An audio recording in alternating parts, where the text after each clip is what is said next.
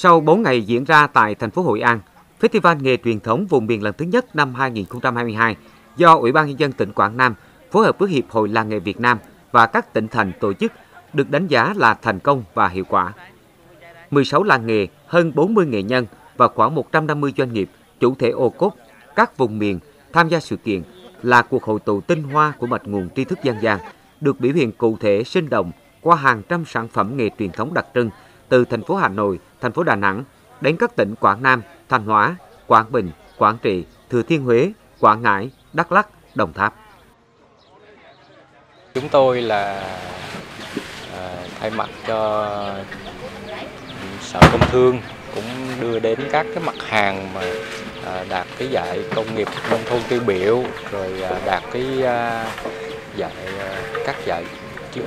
ốp cốp mỗi xã một sản phẩm Ờ, của các cơ sở làng nghề các sở công nghiệp nông thôn trên địa bàn tỉnh Đắk Lắk mang xuống những cái sản phẩm đặc trưng mang đậm bản sắc vùng miền của Đắk Lắk để rằng quảng bá với người dân của Hội An cũng như người dân ở miền Trung biết đến sản phẩm của Đắk Lắk. À, và mong rằng được ờ, có những sự kết nối à, kết nối giao thương để chúng tôi phát triển hơn nữa cái sản phẩm rộng ra các à, vùng miền.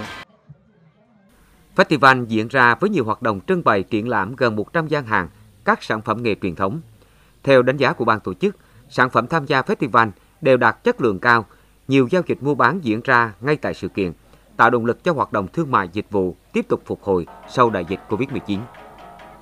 Trong khuôn khổ festival, các chương trình trình nghề, biểu diễn giao lưu văn hóa nghệ thuật đặc sắc đã diễn ra. Bên cạnh đó còn có các cuộc tọa đàm với chủ đề những giải pháp bảo tồn, phát triển nghề truyền thống, tháo gỡ khó khăn, kết nối cung cầu, tìm đầu ra cho sản phẩm nghề, sản phẩm ô cốp, sản phẩm công nghiệp nông thôn tiêu biểu.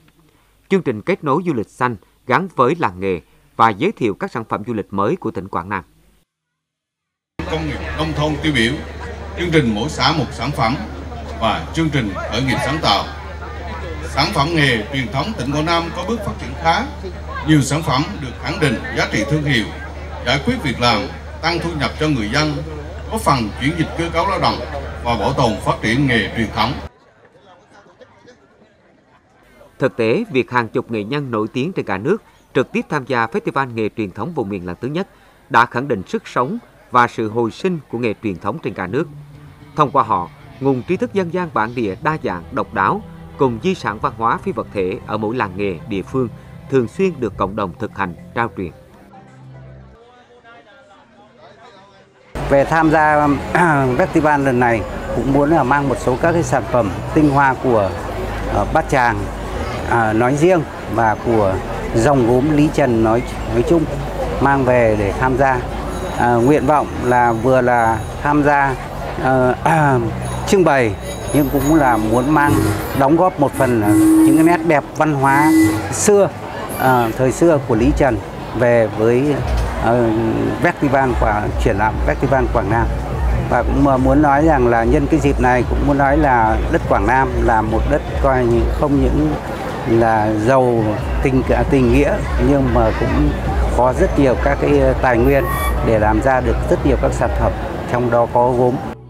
Không chỉ giao lưu, kết nối, trao đổi sản phẩm, Festival nghề truyền thống vùng miền lần thứ nhất năm 2022 còn là dịp để các sở công thương, Ủy ban nhân dân các tỉnh thành phố ký kết hỗ trợ phát triển làng nghề truyền thống, sản phẩm ô cốp, các sản phẩm công nghiệp nông thôn tiêu biểu, tạo cơ sở để các nghề và làng nghề truyền thống phát triển bền vững trong tương lai.